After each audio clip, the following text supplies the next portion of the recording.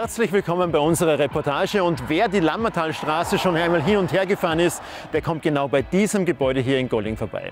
Hier sitzt die Salzburg Netz GmbH, aber auch die Salzburg AG. Und was hier hinter den Kulissen alles passiert, das schauen wir uns jetzt an.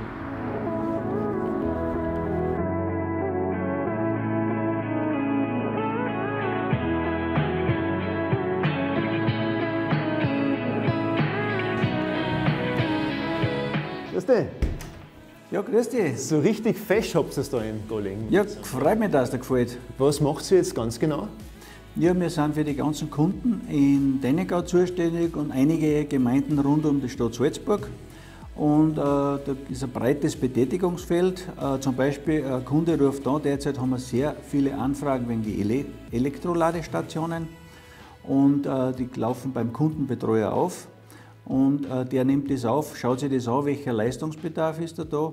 Und das ist derzeit ein sehr hoher Leistungsbedarf. Das heißt, er muss einen Planer mit beauftragen, dass er zu der Trafostation eine neue Leitung plant, äh, weil da braucht man stärkere Kabel. Wie viele Leute seid ihr da in Golling jetzt zurzeit? Ja, wir sind über 60 Mitarbeiter da in der Geschäftsstelle und die betreuen die ganzen Kunden und auch die Baustellen, was wir da in Denningau haben. Du, und wenn ich jetzt so eine Ladestation möchte, die du gerade angesprochen hast, äh, brauche ich dann zu meinem Haus, zu meinem Betrieb ein richtig fettes Kabel, nehme ich mal an, ja? Genau, da brauchen wir ein starkes Kabel hin. Ein Stromkabel quasi, ja. Stromkabel, genau. Unsere Gruppe von der Errichtung, die baut das Kabel da hin, machen den Tiefbau, die Verlegung und dann hat der Kunde ein neues Kabel äh, bei seinem Objekt. Können wir uns so ein Kabel mal anschauen? Ja, das können wir uns anschauen. Ist unten gelagert. Die ist unten gelagert. Ne? Weil es Genau. ist schwer, ne? Genau, ja, dann müssen wir ins Freilager gehen. Jawohl, machen wir das. Ja, passt. Auf uns wartet ein großes Freigelände mit Kabelrollen, soweit das Auge reicht.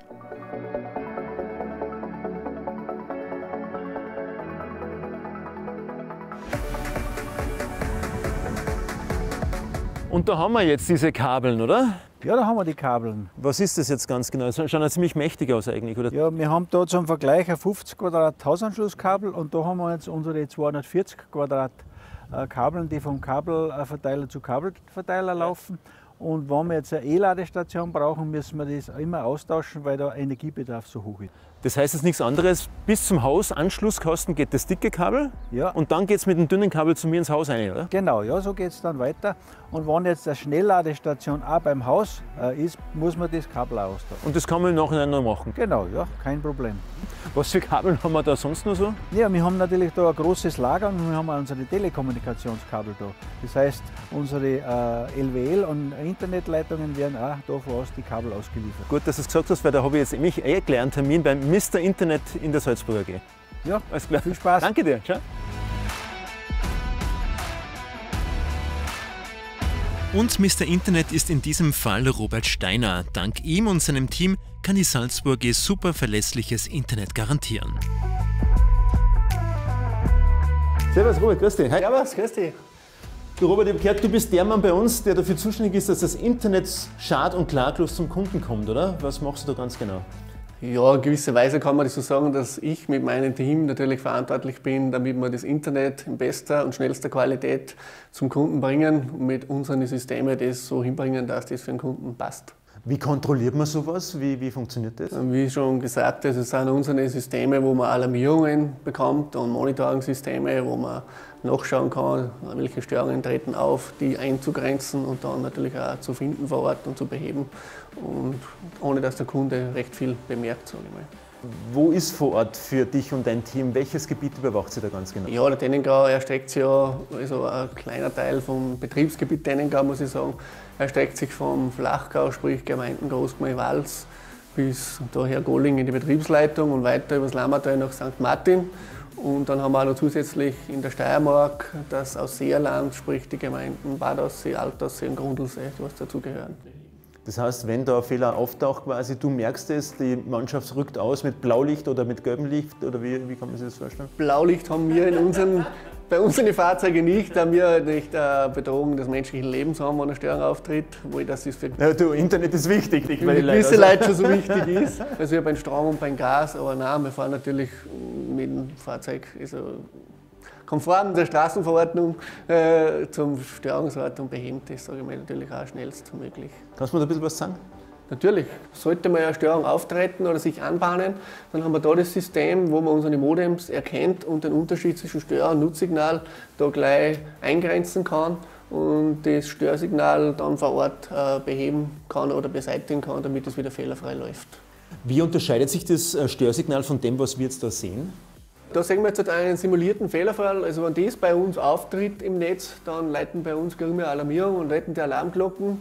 Und wir machen mit Fernwartung, können wir den Fehler eingrenzen und verkleinern oder dass zumindest nicht ein Komplettausfall passiert. Und dann fährt der Monteur vor Ort hin und behebt den Fehler und dann sollte es wieder bereinigt werden. Wunderbar, Robert hat also alles unter Kontrolle und für mich geht es jetzt wieder nach draußen, denn hier in der Geschäftsstelle in Golling gibt es auch ein eigenes Umspannwerk.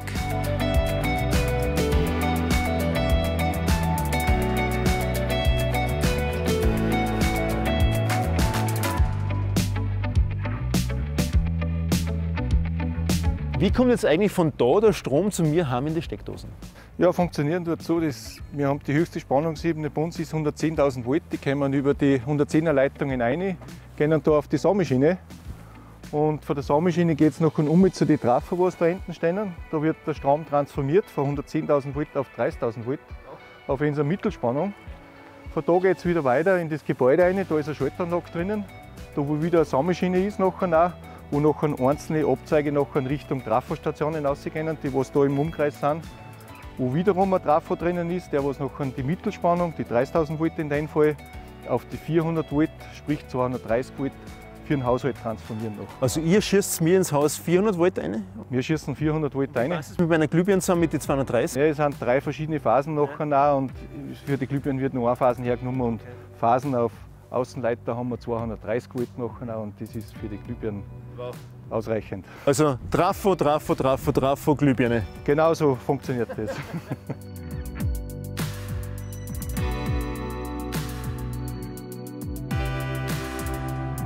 Du, ich bin jetzt dann gleich am Türmberg oben und da ist eine Baustelle und da müsste man Strom abschalten. Äh, kann, kann man das jetzt gleich da machen? Ja, für das gibt es eine Schaltanmeldung für den Türmberg auch und wir müssen da in diesem Umspannwerk eine Entlastungsschaltung machen auch. Und das werden wir jetzt noch gleich veranlassen, so, dass, dass wir stromfrei sind oben. Dass wir oben keine Probleme mit der Spannung haben. Dass ich mir die Ärmel aufkrempeln kann zum Arbeiten, oder? Dort hingehen kannst, wo du da hingehen möchtest. Nachher, ja. Dann tun wir das, ja? Ja.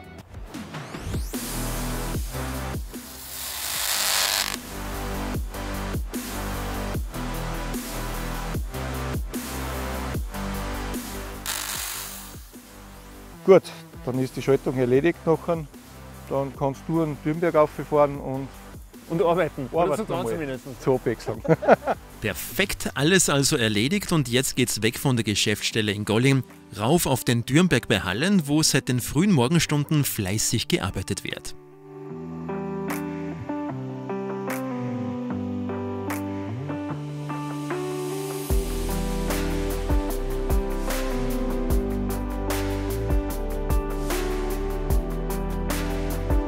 Du, Andi, danke, dass wir uns heute da am Türmberg oben treffen, aber ich glaube, von dem sind wir nicht wirklich ausgegangen, dass es heute so kalt ist bei dir herum.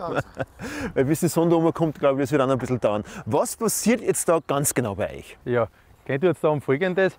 Da passiert ein Hochwasserschutz, wird da gebaut für Hallein. Gell? Und genau in dem Tal, wo da vorne kommt eine Mauer hin, eine Staumauer, und genau in diesem Bereich geht unsere 10 kV Freileitung durch, die was eben von Hallein an Dürnberg versorgt. Und die geht natürlich dann da genau im Weg, weil wenn das wirklich einmal überschwemmt wird, stehen die Masten alle im Wasser. Genau. Und somit muss eben das verkabelt werden und kommt am Ende und am Anfang ein Hochführungsmasten hin und wird praktisch das Tal um, umlegt mit einem Erdkabel. Also dieses Tälchen, muss man ja fast sagen, ja, das wird ja quasi dann geflutet sozusagen. Genau. Können wir mal anschauen, oder? Ja, schauen wir mal. Alles klar.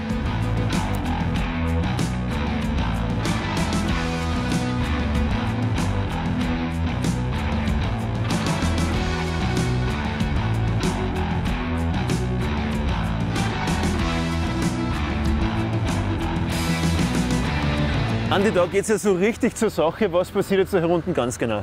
Ja, da ist jetzt folgendes: Genau da, wo wir stehen, kommt eben diese Staumauer rein, gell? von der einen Talseite in die andere.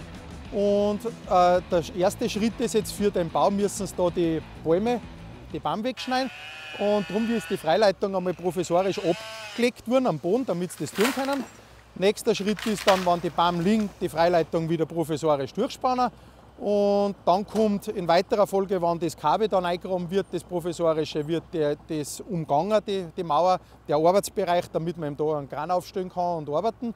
Und in letzter Phase nachher, wenn dann die Mauer steht und alles fertig ist, dann grobt die Salzburger G von dem neuen Mosten, der was jetzt einen Tag gestellt wird, rund um die Mauer eben das neue Kabel herum, dass eben da in dem Staubereich keine Freileitung und nichts mehr herinnen ist. Und da passiert jetzt so richtig Action, oder? Ja, genau, das schauen wir uns jetzt an, oder wie? Genau, da kommt der alte Most weg, weg gesagt, und eben der neue in Richtung Hallein als Abspannmost wird da wieder aufgestellt.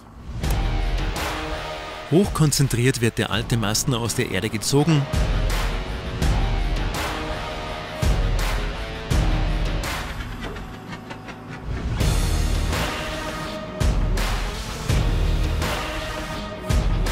Die alten Beschläge abmontiert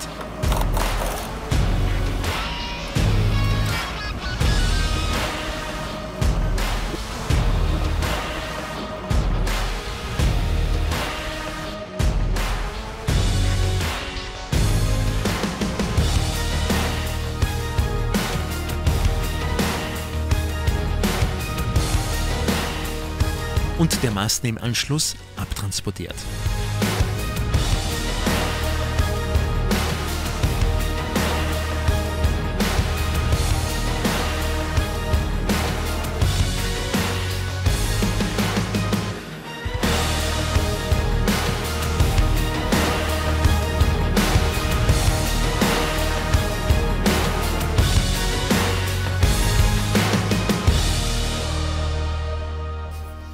Das war also ein sehr, sehr spannender Tag hier im Tennengau bei der Salzburger. Und während hier noch weitergearbeitet wird, freue ich mich schon auf das nächste Mal, wenn es wieder heißt, hinter den Kulissen der Salzburger.